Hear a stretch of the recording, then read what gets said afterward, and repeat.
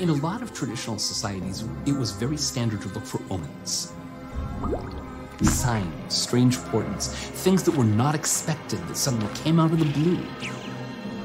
Because that was a warning that something was shifting in society, something had gone wrong, or there was something building that you needed to know about before it arrived. Pepe the Frog is an omen. We need to listen because it's not going to go away until we hear the message that it has to say.